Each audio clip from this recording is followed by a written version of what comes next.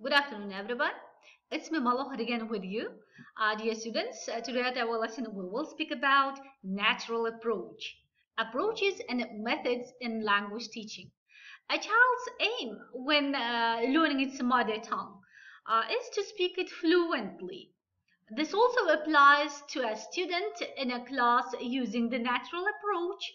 The aim is to develop communication skills. Um, for a child, the learning process is subconscious.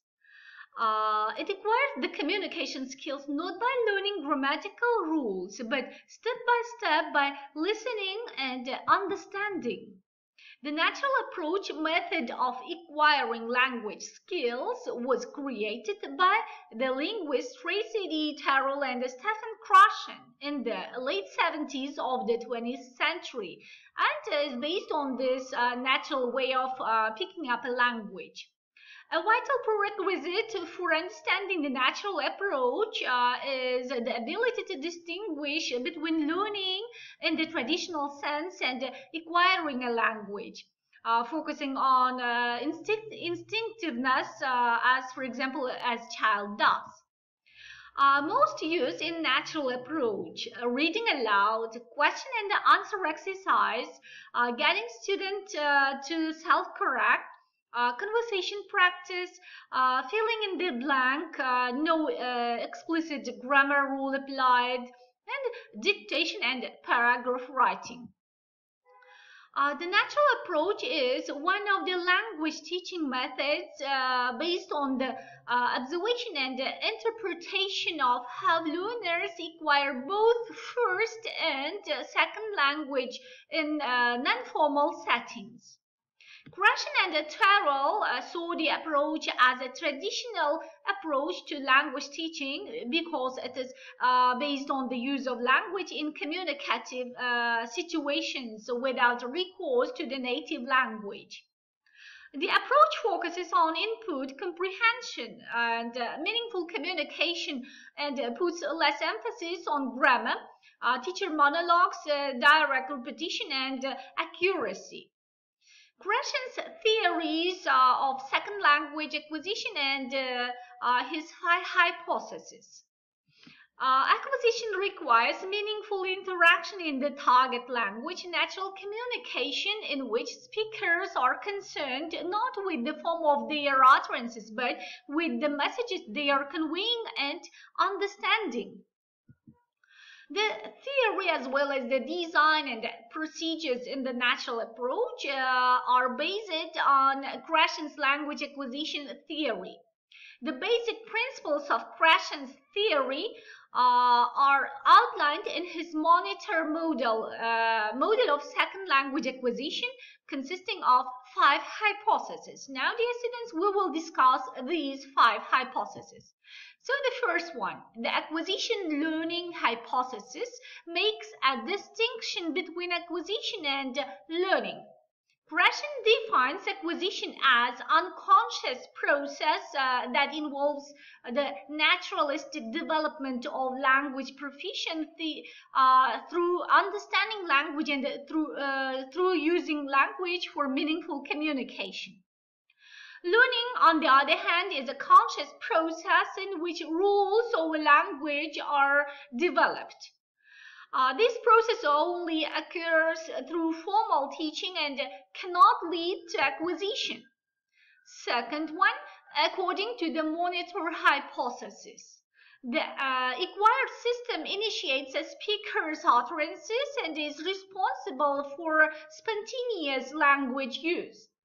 The learned system, by contrast, has uh, the function of a monitor or uh, editor that checks and repairs uh, the output of the acquired system. This uh, monitor can either operate post hoc in the form of self-correction or as a last-minute change of plans just before production. Uh, moreover, there are three conditions which have a limited effect on the success of the monitor. Time, focus on uh, form and correctness, and uh, knowledge of rules. The third one, uh, the natural order hypothesis, says that the acquisition of grammatical structures uh, proceeds uh, in a predictable order. This natural order can be found in the first language acquisition as well as in the second language acquisition. The first one, uh, according to the input hypothesis, acquisition acquire uh, acquisition occurs when one is exposed uh, to language that is comprehensible and uh, that contains I plus one.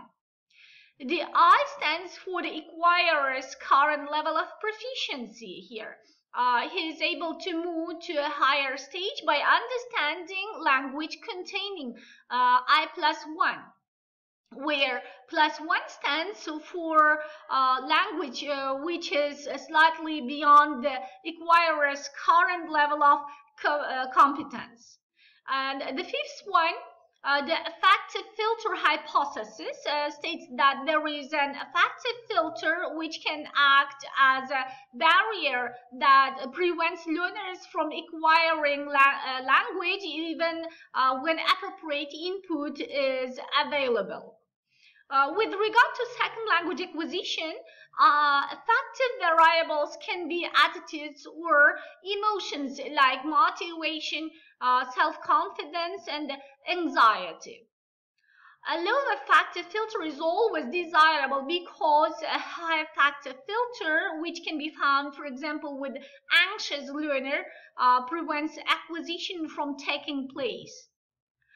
Uh, the learner's role changes and develops uh, during a natural approach course because uh, there are various stages the learner has to go through. The first stage is to pre-production uh, pre-production stage where the learner is not forced to re uh, respond orally and is allowed to decay, uh, allowed to decide on his or own when to start to, to speak. Uh, the next stage, uh, the early production stage, uh, fosters uh, short answers and the student has to respond to simple questions and uh, to use fixed conversational patterns. In the speech emergent stage, the use of complex utterances emerges, for example, in role plays or games. The natural approach classroom allocates a central role for the teacher uh, he has several important roles. Uh, the first role here, the teacher provides a constant flow of comprehensible input in the target language uh, and provides non-linguistic clues. The second role, the teacher has to create a harmonious uh, classroom atmosphere that fosters a low affective filter. Third, the teacher decides on the classroom activities and the tasks regarding group sizes, uh, content, contexts, and materials. Uh, finally, the teacher is responsible uh, to communicate clearly and uh, compellingly to students uh, the assumptions, organizations, uh, and uh, expectations of the method. So dear students, uh, that is all with my presentation about natural approach and I hope you all revise all the material we learned today. So be ready for the next time. Goodbye.